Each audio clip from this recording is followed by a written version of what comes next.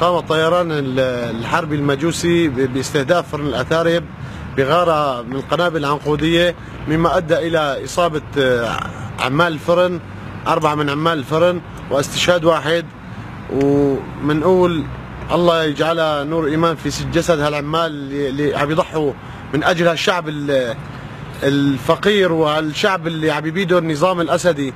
الله ينتقم منك يا بشار انت وأعوانك ومن روسيا الأندال.